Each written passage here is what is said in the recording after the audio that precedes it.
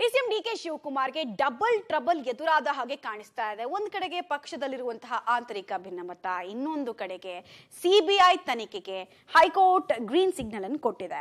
ಹೈಕೋರ್ಟ್ನಲ್ಲಿ ಸಿಬಿಐ ಪರ ವಕೀಲರ ವಾದ ಮಂಡನೆ ಯಾವ ರೀತಿ ಇತ್ತು? ಯಾಕೆ ಹೈಕೋರ್ಟ್ನಲ್ಲಿ ಸಿಬಿಐ ವಕೀಲರ ವಾದಕ್ಕೆ ಪುರಸ್ಕಾರ ಸಿಕ್ತು ಅನ್ನೋದ್ರ ಡೀಟೇಲ್ಸ್ ಅನ್ನ ಕೂಡ ಕೊಡ್ತಾ ಹೋಗ್ತೀವಿ. ಮೂರು ತಿಂಗಳಲ್ಲಿ ತನಿಖೆ ಪೂರ್ಣಗೊಳಿಸಿ ಅಂತಿಮ ವರದಿ ಸೂಚ, ವರದಿ ಸಲ್ಲಿಸುವಂತೆ ಸೂಚನೆಯನ್ನು ಕೊಟ್ಟಿದೆ. ಹೈಕೋರ್ಟ್ ಆದೇಶದ ತೊಂಬತ್ತೊಂದು ಪುಟಗಳ ಪ್ರತಿ ಪಬ್ಲಿಕ್ ಟಿವಿಗೆ ಲಭ್ಯ ಆಗಿದೆ. ಅದರಲ್ಲಿ ಏನಿದೆ ಅನ್ನೋದನ್ನ ಒಂದೊಂದಾಗಿ ನೋಡ್ತಾ ಹೋಗೋದಾದ್ರೆ, ಒಂದು ಡಿ ಕೆ ಶಿವಕುಮಾರ್ ಸಾಕಷ್ಟು ಆಸ್ತಿಯನ್ನ, ಆಸ್ತಿ ಮಾಹಿತಿಗಳ ಬಗ್ಗೆ ಮುಚ್ಚಿಟ್ಟಿದ್ದಾರೆ ಅಂತ ಸಿಬಿಐ ಪರ ವಕೀಲರು ವಾದವನ್ನ ಮಂಡಿಸಿದ್ದಾರೆ ಒಂದಷ್ಟು ಪುರಾವೆಗಳನ್ನ ಕೂಡ, ಅಂದ್ರೆ ಪ್ರಾಥಮಿಕ ವರದಿಯನ್ನ ಕೂಡ ಕೋರ್ಟ್ ಮುಂದೆ ಸಲ್ಲಿಕೆ ಮಾಡಿದ್ದಾರೆ. ಆ ವರದಿಯ ಭಾಗವಾಗಿ ಹೆಂಡತಿ ಮಕ್ಕಳ ಹೆಸರಲ್ಲಿ ಇರುವಂತಹ ಆಸ್ತಿಗಳ ಬಗ್ಗೆ ಸುಳ್ಳು ಮಾಹಿತಿಯನ್ನು ಕೊಟ್ಟಿದ್ದಾರೆ. ನಮ್ಗೆಲ್ರಿಗೂ ಗೊತ್ತಿರೋ ಹಾಗೆ ಇಡೀ ದೇಶದಲ್ಲೇ ರಿಚೆಸ್ಟ್ ಎಂ ಎಲ್ ಎ ಯಾರು ಅಂತ ಕೇಳಿದ್ರೆ ಅದು ಡಿ ಕೆ ಶಿವಕುಮಾರ್. ಅವರ ಘೋಷಿತ ಅಸೆಟ್ಟೇ ಸಾವಿರದ ನಾನೂರ ಹದಿಮೂರು ಕೋಟಿ. ಅದನ್ನು ಮೀರಿ ಅವರು ಆಸ್ತಿ ಗಳಿಸಿದ್ದಾರೆ ಅನ್ನೋದು ಈಗ ಸಿಬಿಐ ವಕೀಲರ ವಾದದ ಭಾಗ ಆಗ್ತಾ ಇದೆ. ಡಿ ಕೆ ಶಿವಕುಮಾರ್ ಕುಟುಂಬಸ್ಥರಿಂದ ತೊಂಬತ್ತೆಂಟು ಬ್ಯಾಂಕ್ ಖಾತೆಗಳಲ್ಲಿ ವ್ಯವಹಾರ ಆಗ್ತಾ ಇರೋ ವಿಚಾರಕ್ಕೆ ಸಂಬಂಧಪಟ್ಟಂತೆ ಇದರಲ್ಲಿ ಸಾಕಷ್ಟು ಹಣದ ಟ್ರಾನ್ಸಾಕ್ಷನ್ ಕೋಟಿಗಟ್ಟಲೆ ಆಗಿದೆ ಅನ್ನೋದನ್ನ ಕೂಡ ಅಲ್ಲಿ ಗಮನಕ್ಕೆ ತಂದಿದ್ದಾರೆ.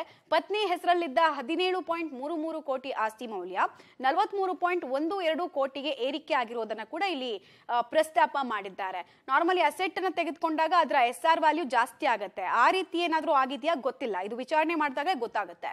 ಮಕ್ಕಳ ಹೆಸರಲ್ಲಿದ್ದ ಅರವತ್ತೊಂದು ಕೋಟಿ ಆಸ್ತಿ ಮೌಲ್ಯ ಈಗ ಎಪ್ಪತ್ತೈದು ಕೋಟಿ ಏರಿಕೆ ಆಗಿದೆ ಅನ್ನೋದನ್ನ ಕೂಡ ಗಮನಕ್ಕೆ ತಂದಿದ್ದಾರೆ ಅನ್ನೋ ವಿಚಾರ ಗೊತ್ತಾಗ್ತಾ ಇದೆ. ಇಷ್ಟು ಮಾತ್ರ ಅಲ್ಲ, ಗ್ಲೋಬಲ್ ಮಾಲ್ನಲ್ಲಿ ಡಿ ಕೆ ಶಿ ಶೇಕಡ ಇಪ್ಪತ್ತೊಂದರಷ್ಟು ಪಾಲನ್ನ ಹೊಂದಿದ್ದಾರೆ. ಅವ್ರದ್ದು ಶೇರ್ ಇದೆ, ಇಪ್ಪತ್ತೊಂದು ಪರ್ಸೆಂಟ್ ಅದ್ರ ಬಗ್ಗೆ ಎಲ್ಲೂ ಕೂಡ ಅವರು ಘೋಷಿಸ್ಕೊಳ್ಳಿಲ್ಲ ಚುನಾವಣಾ ಅಫಿಡವಿಟ್ ಅಂತ ಇವ್ರು ಸಲಿಕೆ ಮಾಡ್ತಾರಲ್ಲ, ಅದ್ರಲ್ಲಿ ತುಂಬಾ ಟ್ರಾನ್ಸ್ಪರೆಂಟ್ ಆಗಿ ಅವ್ರು ಹೇಳ್ಬೇಕಾಗತ್ತೆ, ಎಷ್ಟು ಆಸ್ತಿ ಎಲ್ಲಿದೆ ಅಂತ ಹೇಳಿ.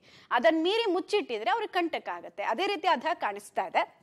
ಕನಕಪುರದ ಕೆಲವು ಆಸ್ತಿ ಆಮೇಲೆ ಬಿನ್ನಿ ಸ್ಟೋನ್ ಗಾರ್ಡನ್ನ ಮಾಹಿತಿ ಬಗ್ಗೆ ಕೂಡ ಕೊಟ್ಟಿಲ್ಲ ಅನ್ನೋದು ಅಧಿಕಾರಿಗಳ ವಾದ ಆಗ್ತಾ ಇದೆ. ಇಷ್ಟು ಮಾತ್ರ ಅಲ್ಲ ಸದಾಶಿವನಗರದ ಮನೆ ನಿರ್ಮಾಣದ ಕಾಮಗಾರಿಯ ಖರ್ಚು ವೆಚ್ಚ ಎಷ್ಟು, ಎಲ್ಲಿಂದ ಇದಕ್ಕೆ ಖರ್ಚು ಮಾಡಿದ್ದಾರೆ, ಜೊತೆಗೆ ಟೋಟಲ್ ವೆಚ್ಚ ಎಷ್ಟಾಗಿದೆ, ಅದ್ರ ಬಗ್ಗೆ ಕೂಡ ಮಾಹಿತಿಯನ್ನು ಕೊಟ್ಟಿಲ್ಲ. ಡಿ ಕೆ ಶಿವಕುಮಾರ್ ಎಪ್ಪತ್ತು ಸ್ಥಿರಾಸ್ತಿ ಹಾಗೂ ಮೂವತ್ತು ಚರಾಸ್ತಿಯನ್ನ ಹೊಂದಿದ್ದಾರೆ. ತನಿಖೆ ಶುರುವಾದ್ಮೇಲೆ ಡಿ ಕೆ ಶಿಗೆ ಸೇರಿದ ನಲವತ್ತೈದು ಆಸ್ತಿ ಪತ್ತೆ ಆಗಿದೆ ಅನ್ನೋದು ಸಿಬಿಐ ಪರ ವಕೀಲರ ವಾದ ಆಗ್ತಾ ಇದೆ. ಮೇಲ್ನೋಟಕ್ಕೆ ಇದನ್ನ ಕೋರ್ಟ್ಗೆ ಮನವರಿಕೆ ಮಾಡಿಕೊಟ್ಟಿದ್ರಿಂದ, ಈ ವಾದದಲ್ಲಿ ಒಂದಷ್ಟು ತೂಕ ಇದೆ ಅಂತ ಕೋರ್ಟ್ಗೆ ಅನಿಸಿದ್ರಿಂದ ಕೋರ್ಟು ಗ್ರೀನ್ ಸಿಗ್ನಲ್ ಅನ್ನ ನೀವು ತನಿಖೆಯನ್ನ ಮುಂದುವರಿಸಿ ಅಂತ ಕೊಟ್ಟಿದೆ. ಸೊ ಇಲ್ಲಿರುವಂತಹ ಪ್ರಶ್ನೆ ಬಹಳ ಸ್ಪಷ್ಟ. ಮುಖ್ಯಮಂತ್ರಿ ಆಗ್ಬೇಕು ಅಂತ ಕನಸು ಅವ್ರು ಕಾಣ್ತಾ ಇದ್ದಾರೆ ಬಟ್ ಆ ಮೆಟ್ಟಿಲುಗಳ ಮೇಲೆ ಮುಳ್ಳಿನ ಹಾದಿ ನಿರ್ಮಾಣ ಆಗಿದೆ ಅನ್ನೋ ಪ್ರಶ್ನೆ ಇದೆ.